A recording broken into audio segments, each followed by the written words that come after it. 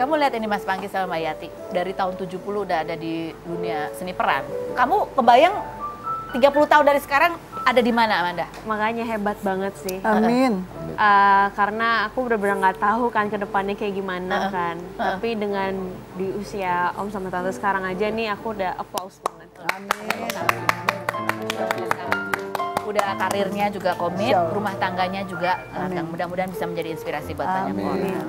Mas Pangki, Mbak Yati terima kasih. sama-sama. Amanda terima kasih juga atas kehadiran kamu. Terima kasih buat Anda semua juga. Jangan lupa sampai Jumat kita ketemu lagi di acara Ruby No Secret. Mwah.